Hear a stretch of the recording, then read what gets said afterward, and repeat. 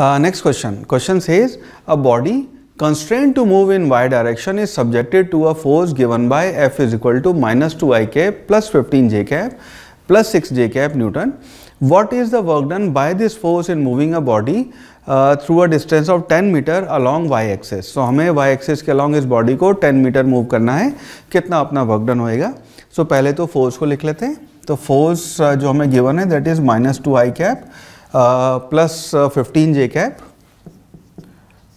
plus six k cap ये अपना force है हमें बताना है कि इसको अगर हम मूव कर रहे हैं so let say r vector जिसमें हम मूव कर रहे हैं वाई एक्सिस के अलॉन्ग टेन मीटर सो इसको हम लिख सकते हैं टेन जे कैप तो ये अपना आर वेक्टर हो गया। हमें बताना है फोर्स क्या होगा और सॉरी हमें बताना है वर्क डन क्या होगा नाउ जैसे कि हमें पता है work done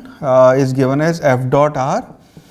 work done in दोनों वेक्टर का डॉट प्रोडक्ट होएगा। सो so, जब हम इन दोनों का डॉट प्रोडक्ट करेंगे ये अपने को पता है जब भी हम डॉट प्रोडक्ट करते हैं तो आई आई जे जे के के मल्टीप्लाई होते हैं बाकी आई जे जे के वो सब ज़ीरो हो जाते हैं बिकॉज़ उनके बीच में एंगल 90 डिग्री का होएगा। इन दैट केस हमको सिर्फ़ जे बिकॉज़ इस फैक्टर में सिर्फ़ जे कंपोनेंट है जे और जे को मल्टीप्लाई करना है so it will be